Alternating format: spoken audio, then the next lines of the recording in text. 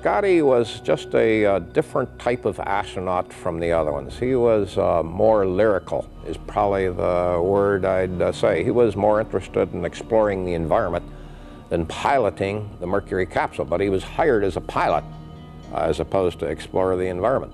I had a flight plan that uh, was devoted to science, where the other uh, flight plans were more devoted to engineering, looking at the spacecraft itself instead of where the spacecraft got us.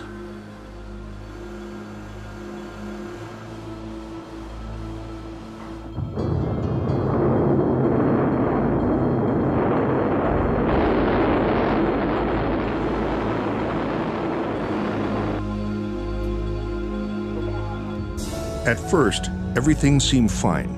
Carpenter even solved the riddle of Glenn's fireflies by proving they came from the spacecraft.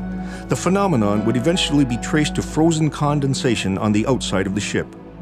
I could see that they emanated from the capsule by rapping on the hatch. We didn't know where those things came from. There was some conjecture that there would be some sort of living critters out there at that altitude. Sounds crazy now, but we didn't know a lot of very simple answers in those early days. Now we know. Carpenter named his spacecraft Aurora 7, a reflection of the scientific nature of both mission and pilot.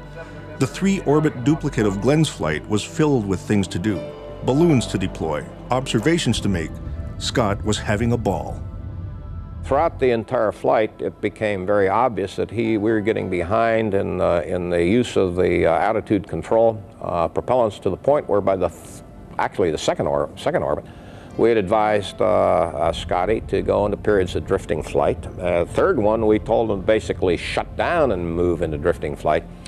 And as he arrived over Hawaii for the orbit, he had cameras out and was trying to take some pictures of these snowflakes they were seeing out there. He was attempting to uh, identify their source as opposed to getting ready for retrofire. Uh, to the point where he was not uh, in the orientation needed for retrofire and he was behind in his checklist. Carpenter was in trouble. Things were coming too fast and he was starting to miss key deadlines. Having failed to put the capsule on the right heading, he fired his retro rockets three seconds late and entered the atmosphere 25 degrees off yaw. The combined errors would land him far off course, if they didn't kill him first. Trying to guide the overheated and wildly bucking craft through the atmosphere, Carpenter tried to put it into a slow roll in an effort to let it heat more evenly. But his fuel was exhausted.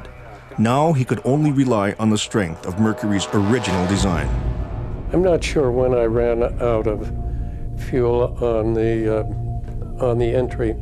It was down low, but what I was able to determine is that Max Faget's design of the blunt reentry body uh, was a good one and it had sufficient aerodynamic stability to get through the entry without fuel. And that's what Max wanted it to do.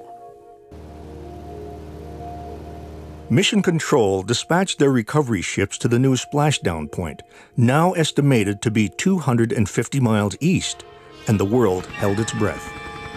With no word from NASA since Carpenter began his reentry, reporters covering the flight assumed the worst. CBS News anchor Walter Cronkite had been the unofficial narrator of the manned space program from the beginning, preparing his audience for what he soon expected to hear from NASA, he announced on live television that it appears we may have lost an astronaut. They knew that Carpenter was alive. We did not. They had telemetry, heartbeat, respiration, so forth. And they were getting those signals. He was alive. He'd come through. They did not tell us for 43 minutes. We were all put in the position of assuming that he was dead and wondering how we were going to tell this story and when they were going to let us know about it, and they never did. Not until they said they now they saw the parachutes open. I've seen that broadcast, and uh, there were other people concerned. but I was not. Frankly, I knew exactly where I was. Carpenter's flight was hailed as a rousing success. Project Mercury had made great strides, and NASA was clearly on its way. Meanwhile, inside the agency, Christopher Kraft fumed that Carpenter would never fly for him again. He made it stick, too. Aurora 7 was Scott Carpenter's only spaceflight. I don't want to uh, appear to condemn Scott Carpenter. Uh, Scott Carpenter, he's a fine person, but nevertheless, he was not what I considered to be a competent test pilot.